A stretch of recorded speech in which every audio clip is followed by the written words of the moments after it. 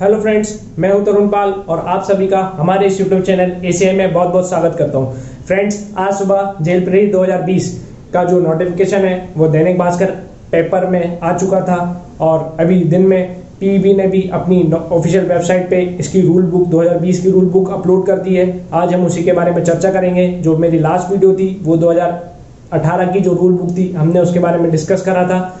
आइए आज हम 2020 की रूल बुक के बारे में डिस्कस करते हैं कि उसमें आपकी कितनी क्या वैकेंसीज हैं, और आप में जो 2018 से 2020 में क्या बदलाव आए हैं, उसके बारे में चर्चा करेंगे। तो चलिए फ्रेंड्स शुरू करते हैं।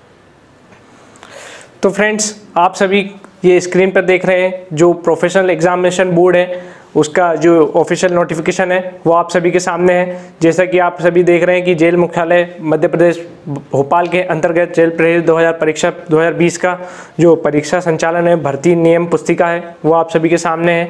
जैसा कि आप सभी देख रहे हैं कि ऑनलाइन आवेदन पत्र है, वो ऑनलाइन आवेदन पत्र भरने की जो प्रारंभिक तिथि है, वो सत्ताईस सात दो है और जो इसकी अंतिम तिथि है, वो दस आठ दो है।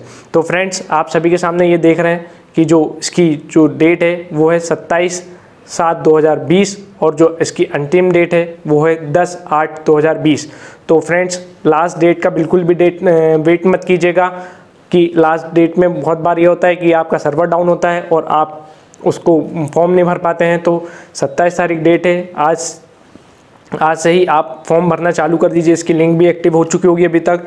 और जो इसमें संशोधन है, वो 27 तारीख से चालू हो जाएगा। जैसे आज से ही अगर आपके एग्ज़ाम फॉर्म में कुछ त्रुटि होती है या आपको करेक्शन कराना है तो वो संशोधन आज से चालू हो जाएगा। जो आपके 15 तारीख 2000 पंद्रह आठ 2020 तक आपका संशोधन का चलेगा। तो ये हमने डिस्कस कर लिया कि जो इसमें डेट्स हैं, वो क्या क्या है आपकी एग्ज़ाम फॉर्म भरने की। ठीक है, और जो आपका इसमें शुल्क रहेगा, अनारक्षित विद्यार्थियों के लिए वो पाँच सौ रुपये रहेगा, और जो अनुसूचित जाति, जनजाति पिछड़ा वर्ग निशक्त निशक्तजन विद्यार्थियों के लिए ये ढाई सौ रुपये रहेगा, और सीधी सीधी भर्ती, बैंक लॉक, कोई शुल्क नहीं रहेगा, और जो इस ये सिर्फ़ मूल निवासियों के लिए है जो ढाई सौ रुपये है, अगर आप मध्य प्रदेश के मूल निवासी हैं, अगर आप मध्य प्रदेश के मूल निवासी नहीं हैं तो वो आपको फाइव हंड्रेड चार्ज देना पड़ेगा। और यहाँ हम बात करें कि जो आपकी परीक्षा की दिनांक रहेगी, वो कब से कब तक है तो परीक्षा की दिनांक आप सभी की तीन तारीख से लेके दस नवंबर तक आपकी परीक्षाएँ संपन्न होंगी जो सब पालियों में होगी। प्रथम पाली का जो आपकी रिपोर्टिंग टाइम है वो इसमें आप देख रहे हैं कि वो सात बजे से लेके आठ बजे तक आपकी रिपोर्टिंग टाइम है और जो आपका एग्ज़ाम टाइमिंग है वो नौ से बारह आपकी एग्ज़ाम टाइमिंग है। तीन घंटे का आपका एग्ज़ाम रहेगा और जो दू, दूसरा आपका जो सेशन है वो 12 से 1 के लिए आपकी रिपोर्टिंग टाइम है और जो आपका एग्ज़ाम टाइमिंग है वो दो से पाँच तक का रहेगा। और फ्रेंड्स ये आपके लिए कुछ तो ये आप टिप्पणी जो देख रहे हैं टिप्पणी का जो फ़र्स्ट पॉइंट आप सब यहाँ देख रहे हैं कि ये अभ्यर्थी का आधार पंजीयन अनिवार्य है।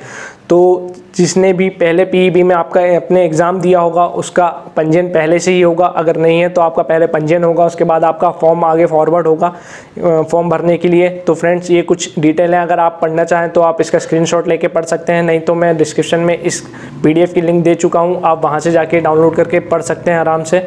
तो अब जो अपन नेट नेट डिस्कस करते हैं, वो उसमें आगे करते हैं।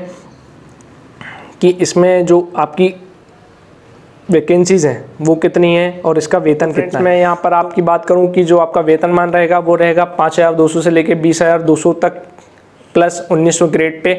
ठीक है फ्रेंड्स तो फ्रेंड्स मैं बात करूँ जैसा कि आपने देखा कि जो इसकी सीधी भर्ती है वो है दो सौ बयासी पदों के लिए जिसमें अनारक्षित 105 है ई डब्ल्यू एस ग्यारह है और अनुसूचित जाति 45 अनुसूचित जनजाति छप्पन, अन्य पिछड़ा वर्ग के लिए छिहत्तर हैं तो कुल जो आपकी वैकेंसीज़ हैं, वो दो सौ बयासी हैं।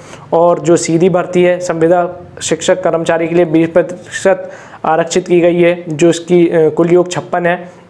और शारीरिक मापदंड की बात करूँ फ्रेंड्स तो पुरुषों के लिए जो ऊंचाई है 165 सेंटीमीटर्स है, और उनका जो सीना है, वो 83 सेंटीमीटर्स है। बिना फुलाए और फुलाने के बाद ये पाँच सेंटीमीटर इंक्रीज़ होना चाहिए तो 188 होना चाहिए आपका सीना। और महिलाओं के लिए जो पिछली बार सरकार ने कहा था कि जो उनकी ऊंचाई है, वो उसमें कुछ कटौती करेगी, उसको कम करेगी, लेकिन यहाँ आप देख सक रहे हैं कि उसमें हाइट में उन्होंने कोई रिस्ट्रिक्शन नहीं दिया है 158 ही है। जो 2018 की रूल बुक के अनुसार था, वही इसमें भी कोई चेंजेस नहीं किए और तो हम अब आगे चलते हैं। जो ये आप देख रहे हैं आरक्षण, अनुसूचित जन जनजाति के लिए 20 प्रतिशत का आरक्षण है, अनुसूचित जाति के लिए वो 16 प्रतिशत का है, और अन्य पिछड़ा वर्ग के लिए वो 27 प्रतिशत का है, और आर्थिक रूप से कमज़ोर वर्ग के लिए वो 10 प्रतिशत का आरक्षण है। तो ये आपके आरक्षण की बात हो गई, और हम जो आगे बात करते हैं, आगे चलते हैं इसमें। और आगे हाँ आपकी जो आयु है पुरुष की सामान्य अनारक्षित की न्यूनतम आयु 18 और अधिकतम 33 है, जो पहले 28 थी, उनने बढ़ाकर अब 33 कर दी है और महिलाओं के लिए 18 से 33 प्लस पाँच, वो आपकी 38 हो जाएगी। तो ठीक है फ्रेंड्स ये आपकी आपकी आय की बात हो गई, आयु की। और ये, इसके बारे में मैं आपसे पहले डिस्कस कर चुका था कि जो इसकी शारीरिक प्रणाली टेस्ट रहेगा, वो क्या रहेगा? एक बार और अपन डिस्कस कर लेते हैं। जो नए लोग हैं, उनको भी क्लियर हो जाएगा। जो आपकी दो चीज़ें इसमें, आप, पहला है आपका 800 मीटर दूर। जो पुरुष वर्ग के लिए है, वो ढाई मिनट का समय है। जो महिला प्रेरी है, उनके लिए चार मिनट का समय रहेगा। और जो भूतपूर्व सैनिक व होम गार्ड्स हैं, उनके लिए थ्री मिनट पंद्रह सेकंड का समय रहेगा। ठीक है फ्रेंड्स मैं एक बार और बता देता हूँ। पुरुष वर्ग के लिए ये दो मिनट पचास सेकेंड महिला के लिए चार मिनट और भूतपूर्व सैनिक के लिए तीन मिनट पंद्रह सेकेंड। और जो गोला फेंक है सेकेंड आपका गोला फेंक रहेगा।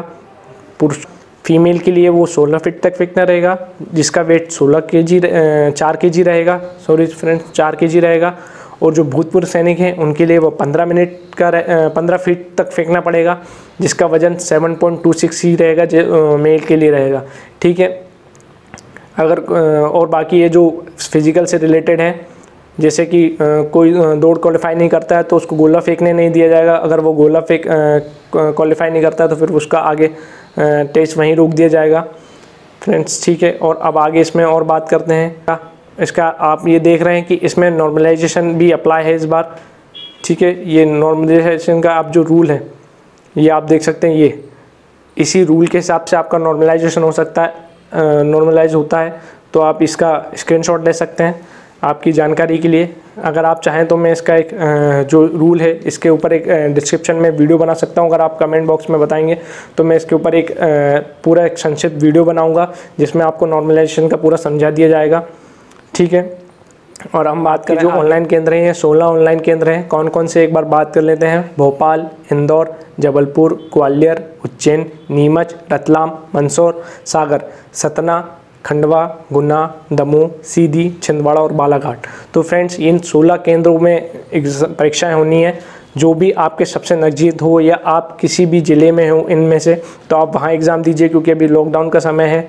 अगर आप उस समय भी अगर लॉकडाउन रहता है या लॉकडाउन की स्थिति रहती है तो आप अपने नियरेस्ट ही जो सेंटर है, उसको चुनिए। फ्रेंड्स ठीक है?